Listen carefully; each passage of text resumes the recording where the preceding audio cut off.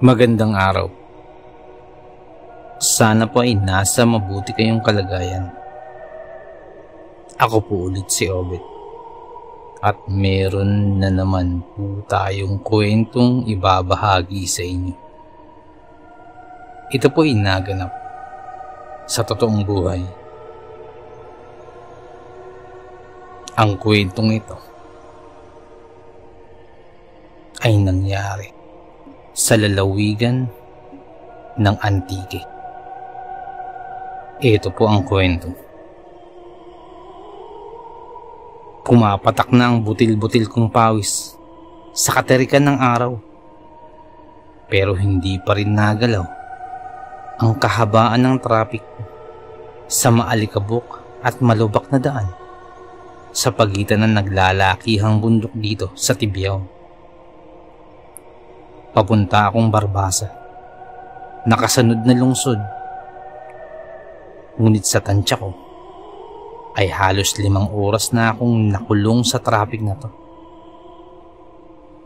Nagmistulang parking lot itong daanan sa dami ng sasakyang animoy nakaparada. Manong! Ma- Manong! Pagtawag ko sa matandang lalaking nakaupo sa maliit na kubo malapit sa daanan. Lumapit naman siya at tinanong ako pabalik. Uh, ba bakit iyo? Tinapunan ko muna ng tingin ang unahan bago sinagot ang kanyang tanong. Ano po bang meron at parang hindi umuusog yung mga sasakyan? Nako! Anya at itinapat ang kanyang bibig sa aking tenga at saka bumulong. Alam mo bang mas werte ka sa araw na ito dahil nakarating ka sa lugar na ito? Napakunot naman ang noo ko. may sakit ka ba? O mga kaanak na merong malubang karamdaman? Sabi pa ng matanda. Napatawa ko ng patago sa sinabi ng matanda at napabuntong hininga na lamang. Ah, ano po bang kinalaman ng tanong mo niyan sa kaso ng traffic dito? Medyo napataas ang boses ko sa pagtanong sa kanya. Iyo, eh, hindi pa yata nakaabot sa iyong pandinig ang kauusbong lang na usapin patungkol sa sa batang nagdadala ng milagro sa lugar na ito. Agad na pumantig ang tenga ko sa narinig. Milagro? Ano po milagro ang pinagagagawa ng batang yan? Pag-uusisa ako pa. Marami. Marami bata. Lalong-lalo na ang mga karamdamang wala talagang lunas. Walang lunas na matukoy ng siyensya. Sa batang nagmimilagro dito, kayang-kaya niyang pagalingin ang kung sino mang hihiling ng kagalingan sa kanya. Sagot pa ng matanda. Sa estilo ng kanyang pananalita at ekspresyon ng muka, tila nahihikayat akong pumatol sa milagrosong batang sinasabi niya. Sa katunayan, Milagro ang matagal ko nang hinihingi sa katastaasan na hanggang ngayon patuloy ko pa rin hinihiling. Ang kakambal kong si Gilbert ang tanging laman ng dasal ko tuwing gabi. Umaasa na sa pamamagitan ng pagdarasal ay muling manunumbalik ang kanyang sigla. Isang basketballista ang kakambal ko at dahil sa angking husay sa larangang ito, napagtripan siyang lasunin ng mga kalabang hindi siya magawang matalo noon pa man. Kinaiinggitan ng kakambal ko sa aming bayan, maging sa mga karatig bayan, kung saan minsan na siyang napasabak sa isang tournament. Isang araw, nang magkaroon ng labanan para sa kampyonato, dito na kumilos ang kabilang panig. At napagdesisyonan nilang lasunin ang kapatid ko.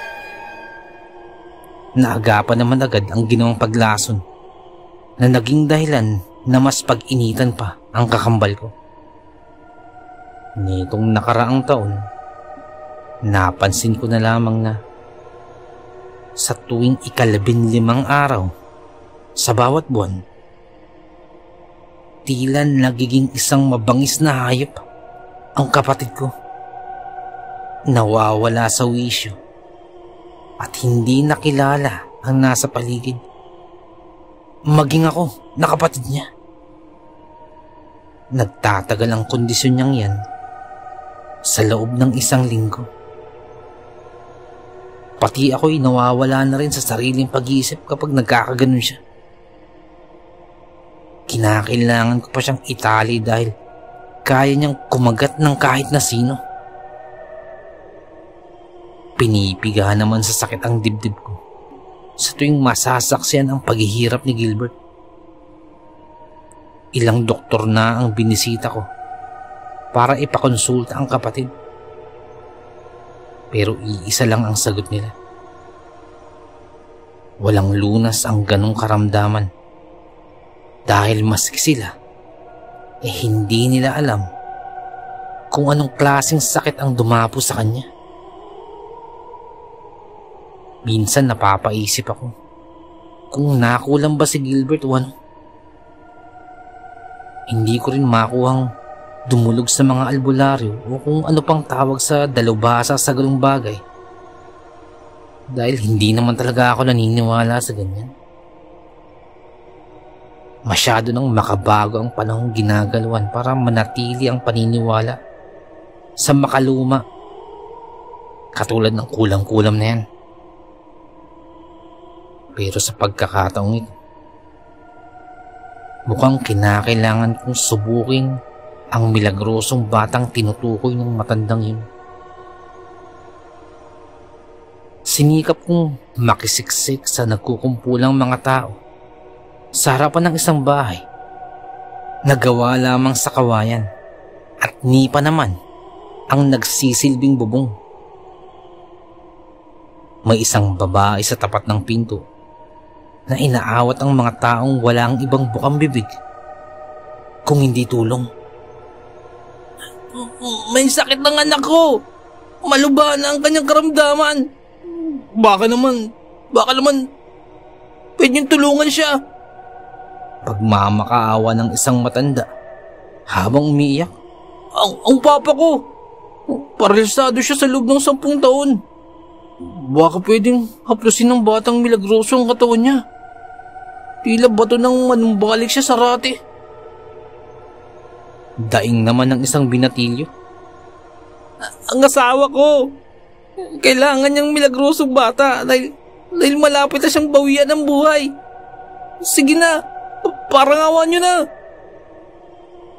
Bawat isa ay tila kailangan kailangan ng sinasabing milagrosong bata. Ang mga taong nasa paligid ko ngayon ay daing ng daing na kaya nilang gawin ang lahat. Basta ba mapagaling lang ng batang milagroso ang karamdaman ng kanilang pinakamamahal. An ano ba? Eh, eh, hindi na kayo matutulungan ng anak ko. K- kailangan niya rin magpahinga. Pag-awat ng babaeng sa tingin ko ay ina ng batang milagroso. Hindi naging sapat ang salita niya para mapaalis kami. Ilang sandali pa ay lumabas ang isang lalaki at siya ang kumausap sa amin. Sandali lang, sandali lang. Taong bayan, naiintindihan ko kayo pero baka naman baka naman pwedeng dahan-dahanin lang natin ang sitwasyon. Ganito na lang. Bumalik kayo bukas at dalhin ninyo ang kung sino ang gusto nyong gumaling. Hindi natapos ng lalaki ang kanyang salita nang kalabitin siya ng babae at bulungan. Parang kontra ang babae sa pinagsasabi ng lalaki. Gayunpaman, nasunod pa rin ang kagustuhan ng lalaki. Eh, sinisiguro ko sa inyo na, na lahat kayo, lahat kayo makakaharap ang anak ko. Sa sinabing iyon ng lalaki, tila nabuhayan ng pag-asa ang bawat isa sa amin. Kung totoo ngang nakakapagpagaling ang nasabing bata, tiyak na matutuldukan ang napakaraming problema, lalong-lalo na sa kakambal ko. Hindi na ako tumuloy sa lakad ko at umuwi na lang matapos makumpirma ang oras ng kanilang tanggapan. Ibinalita ko naman kaagad kina mama at papa ang natuklasan kong milagrosong batang yan.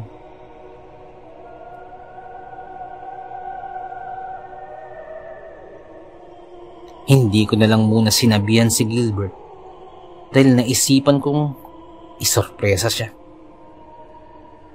Sigurado ka ba dyan, Gilmer? Baka, baka mapahamak lang ang kapatid mo. Saad ni Papa na mahihimigan ang pagkadisgusto sa boses. Pa, eh kailangan natin subukan. Wala namang mawawala kung susubok, hindi ba? Kiraming taon nang naghihirap si Gilbert. At ngayon na nakahanap ako ng maaaring tatapos sa paghihirap niya. Ba eh bakit di natin subukan? Sagot ko naman kay Papa. Tiningnan ni Papa si Mama. At hinintay ko na lang din ang pasya ng aming padre de pamilya. Sige. Pero kung ano man ang kalalabasan yan, ikaw Gilmer ang mananagot sa lahat, lalo na sa kapatid mo. Madiing wika ni Papa. Hindi ko naman mapigilang mapangiti. Dahil kung magkatotoo talaga, eh tapos na ang lahat. Bandang alas 11 ng gabi, nang sadyain ko si Gilbert sa kanyang kwarto. Kasabay ng pagtulak sa pinto, ay ang pag-uunahan ng mga luha ko. Unti-unting nanikip ang dibdib ko nang mapadako ang tingin sa mga galas niya sa katawan partikular na sa kanyang mga kamay at pa.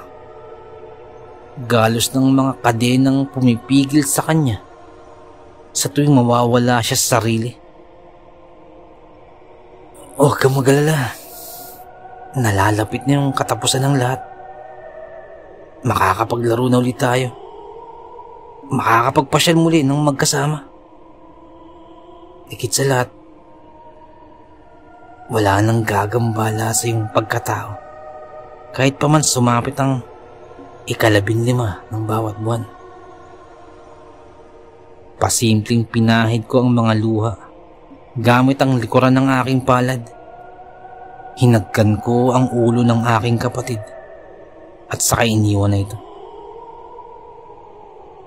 Kinabukasan, maaga akong nakarating sa lugar kung saan naninirahan ang milagrosong bata. Marami nang nakapila sa pagdating namin. Maayos kong ipinarada ang sasakyan sa hindi kalayuan at ginising ng natutulog kong kapatid na nakapwesto sa backseat. Gilbert, narito na tayo. Halika na. Nakangiting bungad ko sa pagmulat ng kanyang mga mata. Inalalayan ko ang kapatid dahil bukod sa pagkawala sa kanyang sarili, sa tuwing ikalabin lima ng bawat buwan, e eh mahinang mahina na rin ito. Pati pagtayo, ay kailangan na ng alalay. O, da- dahan-dahan lang. Dahan-dahan. Paalala ko nang paupuin siya sa silya. Inayos ko ang suot niyang polo. Pati na ang kanyang buhok at saka binigyan siyang muli ng isang matamis na ngiti. Pugi talaga ng kapatid ko. Kamuhang kamukha ko. Napakurap-kurap lang siyang bilang sagot. Magsasalita pa sana ako. Subalit naunahan na ako sa pagsigaw ng isang babae. Magaling na ang anak ko! Magaling na! Magaling na ang anak ko! Lahat ng pansin sa mga taong naroroon ay nasa kanya. Napaawang naman ang bibig ko, kasabay ng paglalakihan ng mga mata. Totoo nga? Bulong ko sa hangin nang masilayan ang batang naka-wheelchair lang kanina na ngayon ay nagtatatakbo na na may ngiti sa mga labi. Kung nagulat ako ron, eh mas nagulat pa ako sa mga sumusunod. Ang naabutan kong nakapila kaninang halos hindi na makalakad dahil sa dinaramdam na sakit. Heto na ngayon, masiglang masigla na. Gilbert, nakita mo yun? Gumaling sila. Gagaling ka rin. Napaluhod ako sa harap ni Gilbert sa kasiyahang sumagi sa isip na kapag nakapasok na sa bahay ng milagrosong bata ang kapatid ko, lalabas siyang magaling na. Ah, uh, sir, ah, kayo na pong kasunod. Kalabit sa akin ng babaeng umaalalay sa manggagamot. Binuhat ko naman kaagad ang kapatid at sinamahan siya sa silid kung saan gaganapin ang paggagamot. Pagkapasok na pagkapasok namin sa bahay, inapahigpit ang yakap ni Gilbert sa akin. At nang paupin ko na siya sa upuan, ay tila ayaw niyang iwanan ko siya. O, o, ayaw ko. A, a, ayaw, ayaw ko. Ha? Uh, Gilbert, natatakot ka ba? Huwag kang magalala. Nandito lang ako. O, okay lang yan. K- kaya natin to. Saad ko. Sumenya sa akin ang lalaking amayata ng milagrosong bata. Kung handa na ba ang kapatid ko? Opo. Agad kong sagot. Tumango naman ang lalaki at pumasok sa isang kabilang silid. Ilang sandali pa ay may karga-karga na siyang batang lalaki na sa tingin ko ay ang batang milagroso. Ayoko! Ayoko! Ayoko! Natatakot na baling sa akin ni Gilbert. Hindi ko na pinakinggan pa si Gilbert at sinabihan na ang lalaki na simulan na ang paggagamot sa kapatid ko. Isang normal na bata lang naman ang milagrosong batang kanilang sinasabi. Walang ibang makikita sa muka kung hindi purong kainosentihan lamang. Ipinatong ng lalaki ang maliliit na kamay ng bata sa ulo ng kapatid ko. Ipinatong ng lalaki ang maliliit na kamay ng bata sa ulo ng kapatid ko. At ilang sandali pa ay tinanguan ako nito. Senyalis na, tapos na.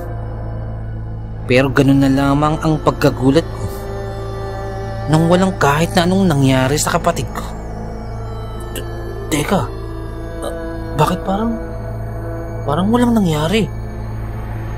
Pinagmasdan ko si Gilbert at masasabi kong wala talagang pinagbago. Marahil ay hindi pa tumanap sa kanya ang milagro. May takot kasi siya. Hindi katulad ng mga nauna na desidido. Umuwi na kayo pagpahingin mo na muna ang kapatid mo. Wika ng lalaki. Pero paano kung, kung wala pa rin nangyari? Bumalik kayo rito kung walang mangyayari. Kagaya ng sinabi ng lalaki. Umuwi kami at pinagpahinga ko si Gilbert. Binantayan ko siya. At sa mga oras na pagbabantay ko sa kanya, ay talagang wala akong napapansing pagbabago sa kanya. Hanggang sa makaidlip na lamang ako. Nung bigla na lamang akong magising, dahil may tumatawag sa akin. Kuya! Ku- kuya! Ku- kuya! Naalimpungatan ako sa ingay at napakalakas na pagyugyog sa aking balikat. Dahan-dahan kong iminulat ang mga mata at nawala na lang bigla ang pagkaanto ko nang makitang maayos na si Gilbert. Purong kasiyahan ang nasa kanyang muka Hindi katulad dati na parang pinagsakloban ng langit at lupa. Magaling na ako. Magaling na ako. Hindi na ako mahina. Hindi ko na nararamdaman pa yung karamdamang halos pumatay sa akin. Walang mapagsidlan ng tuwang kasalukuyan naming nararamdaman. Sa wakas, natapos na rin ang paghihirap ni Gilbert. Ma! Pa! Magaling na ako! Magaling na ako! Sigaw ni Gilbert habang tumatakbo sa harapan ng bahay. Nung gabi na yon, ay wala na ako mapagsidlan pa ng kaligayahan. Dahil sa wakas ay magaling na ang aking kambal. Kinabukasan, dis oras na ng gabi nang ako'y nakauwi galing sa trabaho bilang isang opisyal ng batas. Nakasanayan ko ng madat nang hinihintay ako ni Gilbert sa sala. Pero nang makarating ako, nakapatay lahat ng ilaw. May napansin din akong katakataka. Nagbukod sa nagkakalat ang mga kagamitan sa kung saan saan. E basag din ang mga bintana at iba pang babasaging bagay. Ma? Ma? Nagmamadaling pumanhik ako sa itas habang itunoon sa unahan ang dalang armas. Maaring niluban ng bahay namin. Sana naman, walang nasaktan ni isa sa pamilya ko. Ngunit halos malagatan ako ng hininga nang bumungad ang tagpong nakahilata na sa sahig. Sina mama at papa. May laslas sa leeg at sa tiyan na halos ikaluwa ng mga lamang loob nila at naliligo sa sariling dugo. Ma! Pa! Nanginginig ang sistemang dahan-dahan ko silang nilapitan. Nang akmang lunod ako para maaabot ang kanilang pisngi. Isang napakalakas na pagbagsak ng bintana ang pumukaw sa aking atensyon. Sa aking harapan, lumitaw ang malaibong nilalang na may katangkaran at may kalakihan ng katawan. Natakpan ko naman agad ang ilong sa hatid nitong nakasusulasok na amoy. Walang sabi-sabing pinaputokan ko siya nang akbang lalapitan ako. Tila pagkain lang sa kanya ang mga balang pinakawalan ng aking armas. Dahil hindi man lamang itong matinag-tinag. Naalarma na ako. Tinulungan na lang ang sariling makalayo. Subalit ano nga bang nilang na to? At nakuha pang sumulpot-sulpot sa kung saan-saan. Kung saan ako babaling ng tingin. Sino ka? Sino ka ba? Astik ko nang wala na akong matakbuhan pa. Ang tanong kong yun ay sinagot niya lamang ng pag-alulong na tila asong ulol.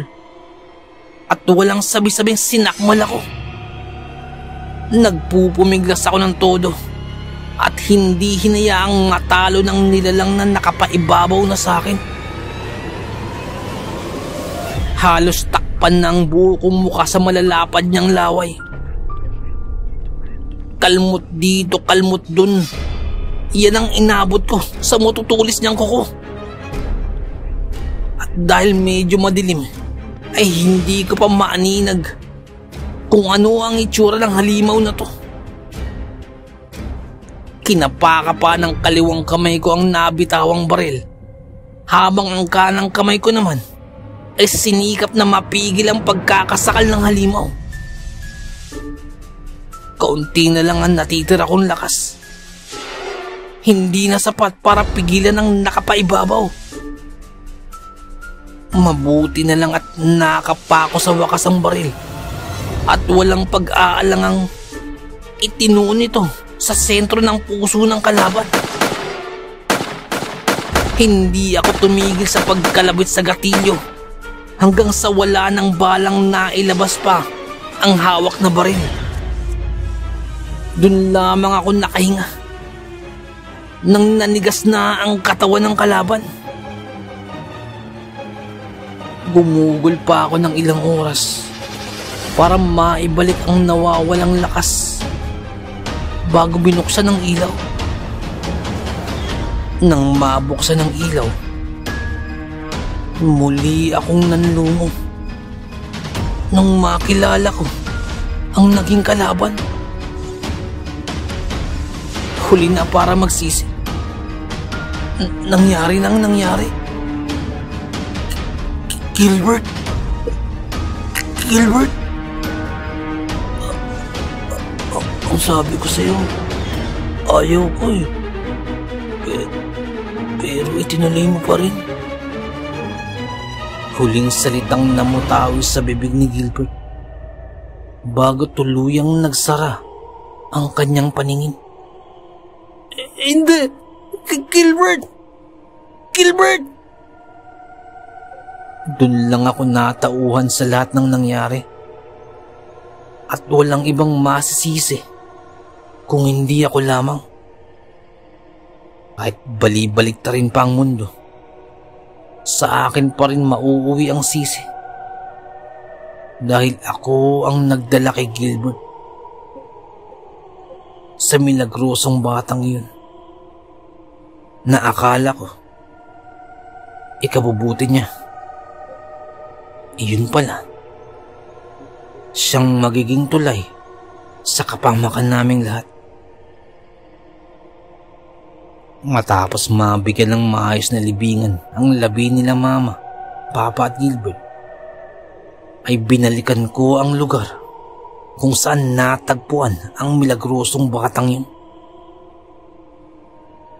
Subalit parang nahulog ako sa isang pangyayaring tila hindi makatotohanan. Walang ni isang bahay pang madadatnan sa lugar na yun kung hindi mga nagtataasang puno at damong ligaw. Nanlulumong napatitig na lamang ako sa mga nagtataasang damong ligaw na marahang isinayaw ng hangin. Napailing-iling na napatingala ako sa langit. Hanggang sa mga oras na to, isa pala akong biktima ng mga hindi maipaliwanag na mga nilalang. Napakahiwaga ng ating mundong ginagalawan. Napakaraming bagay ang mahirap ipaliwanag. Pero nagaganap. Hanggang dito na lamang po. Salamat po sa pakikinig. Magandang araw po.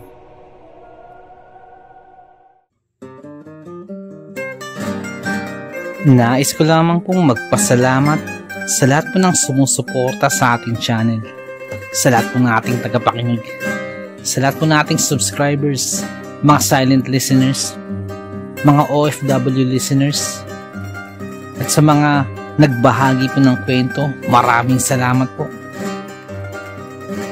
Nais ko lamang pong batiin ng happy birthday po ang mother po ni Ma'am Eileen Vargas last February 27 at sa kapatid po ni Ma'am Eileen on February 28 po.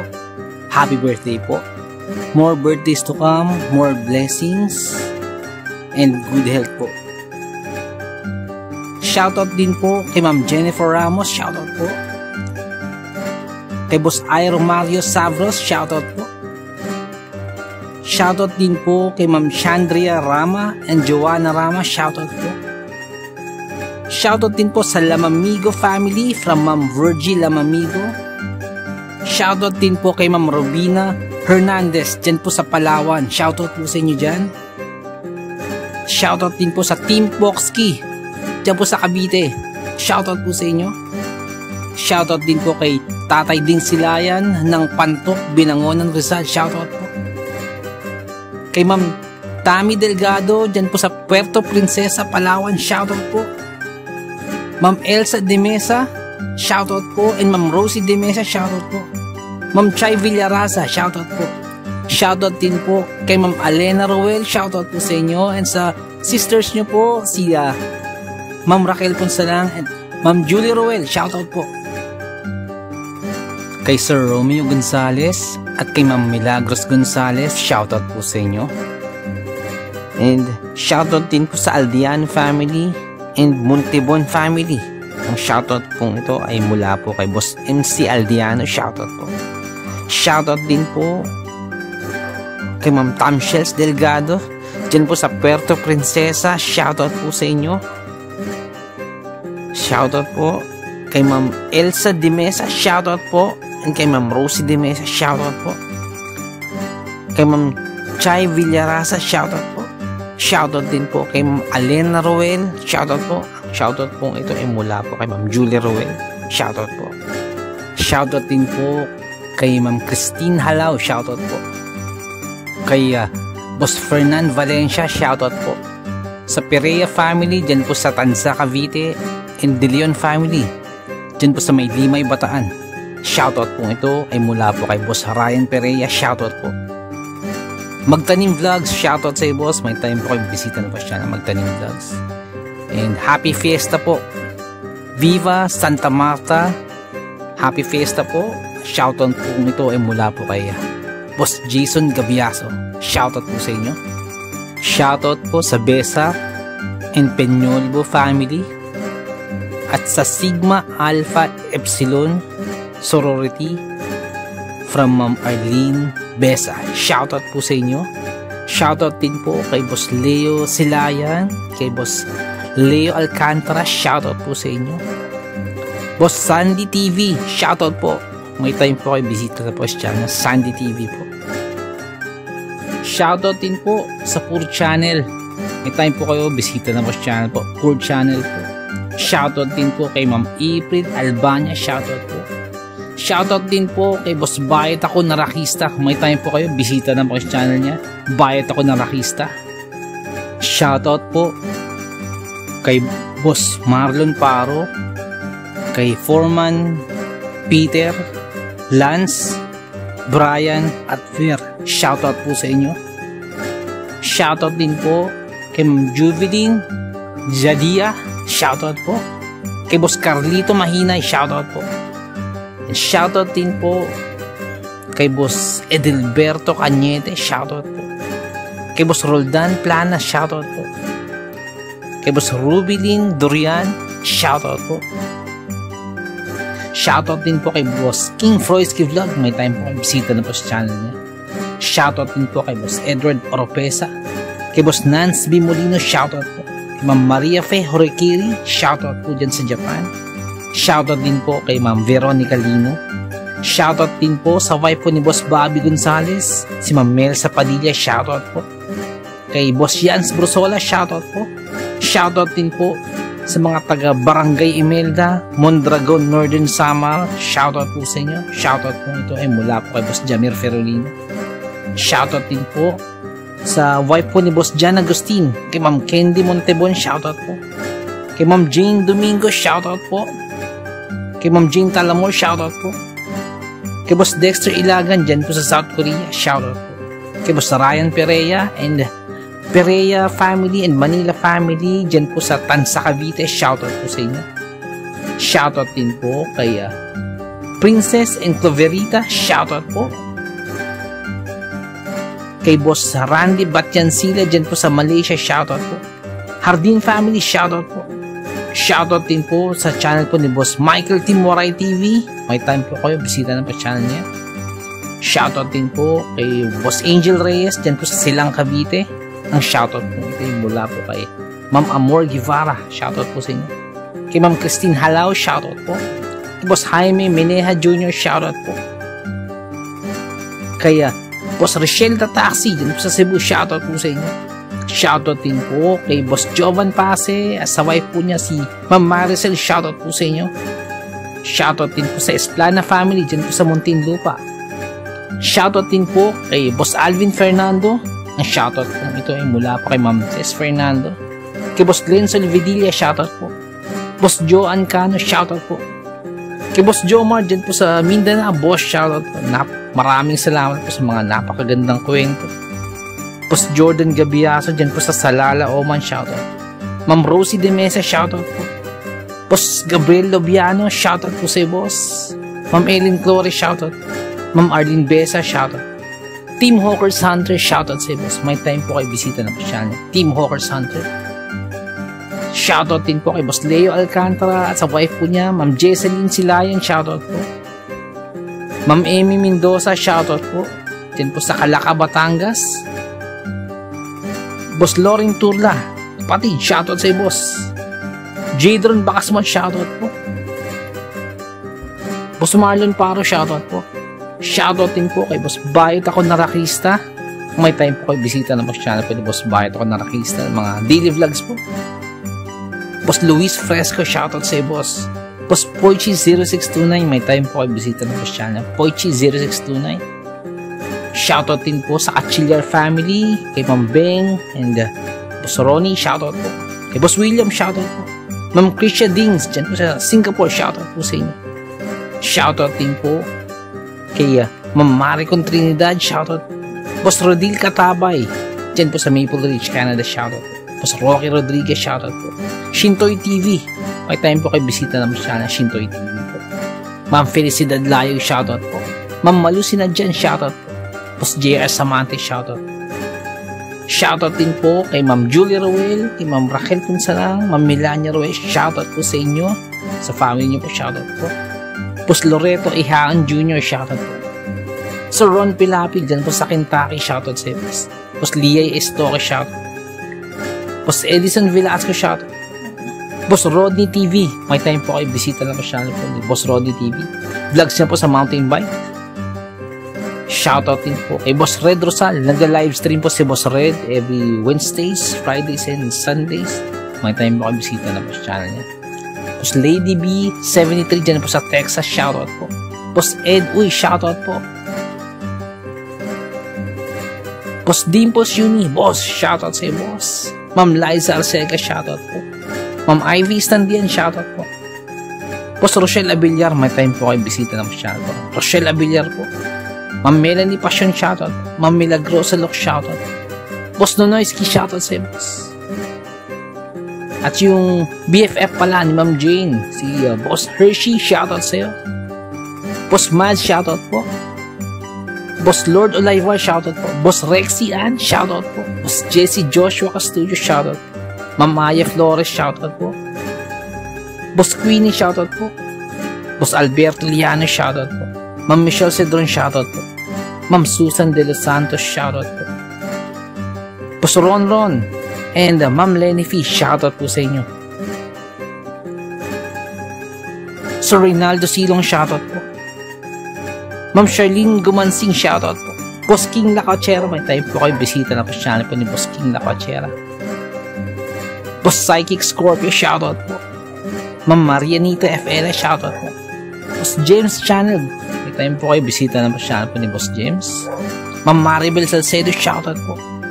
Boss Vinci Mayo, boss, shoutout po. Boss Best Mads, shoutout po. Boss Leonardo Manalo, shoutout po. Boss Marlon Candelario, shoutout po. Boss Yumi Cotton TV, shoutout sa boss. May time po kayo bisita sa channel, Yumi Cotton TV. Boss Yoreski Escalona, shoutout sa boss. Boss Jopay Bertuto, boss, shoutout sa iyo. Ate Peng, shoutout po.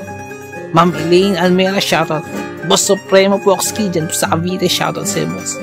Pambless na baka, shoutout po. Boss Best Mad, shoutout po. Ma'am Christy Harn, dyan po sa Hamburg, shoutout po. Kay Sir Alex of Southern Mindanao Clip Experience, shoutout sa iyo, sir. Boss Jimmy Pandong, shoutout po. Kay Tata Estong Nestor Bauyon, dyan sa London, shoutout po. Ma'am Mary Asilar, shoutout po, dyan din po sa UK. Boss Edward Malilin, boss, shoutout po. Boss Raymond Glover, shoutout sa iyo, boss. Ma'am Eliza Miguel, shoutout po. Shoutout po kay Boss Ricky Gonzalez, kay uh, Boss Bobby, kay Ma'am Milagros Gonzalez, kay Sir Romeo, shoutout po sa inyo. Boss Sai 1986 vlog, may time po kayo bisita naman sa channel, Sai 1986 vlog. Boss Young's Life, shoutout. Boss Russell Ferreira, shoutout. Boss Emslak, shoutout. Miss Jabel, shoutout po. Boss Choji D, shoutout. Ma'am Liza Arcega, shoutout po. Ma'am Selena Rawato, shoutout po. Boss Francis Maula, shoutout po. Boss Stacy Vlog, dyan po sa Spain, shoutout po. Boss Mary Tales, may time po kayo, bisita na po channel po ni Boss Mary Tales. Ma'am Myrna Boho, shoutout po. Boss Kamandag Pigeon TV, mahilig po kayo sa kalapati, bisita po sa channel po ni Boss Kamandag Pigeon TV. Ganun po kay Boss Titan Love TV. Boss Diggy and George, mahilig po kayo sa bedtime stories, bisita na po sa channel po nila. Boss Horseshoe TV, mga vlogs po nila sa Japan, bisita na po sa channel. Boss J Palo, shoutout. Boss Pedro Tampo, shoutout po. Ma'am Maria Lizel Barro, shoutout. Ma'am Aubrey Delgado, shoutout sa iyo ma'am. Sa family po, sa husband niyo po. Boss Camelo Aroy, boss, shoutout sa iyo dyan. Sa mga taga Southern Leyte, ingat po kayo dyan. Sana magkakuryente na po. Kay Boss Jesse, ang Manuel at Horror Stories, may time po kayo bisita lang sa channel niya. Boss Nico, shoutout sa iyo, boss. Boss Ron Misa, shoutout po. Ma'am Erika Tijano, shoutout po. Boss Angie Tatifuku, shoutout po. Ma'am Ana Sato, shoutout po. Ma'am Eli Cono, shoutout po. Boss Freya's World, shoutout sa iyo, boss. Boss Resi Madrid, shoutout. Lutong Bahay ni Ming, shoutout po. Boss Wency 666, shoutout po. Boss John Reynolds Zakati, boss, shoutout. Kay Ma'am Lea Velasquez, shoutout po. Kay Ma'am Shirley Carillo, shoutout po. Sa mga hindi ko nabanggit, pasensya po, bawi po ako next time. So, naibigan po ninyo ang ating kwento. Pakihit lang po ang like at pati din po subscribe.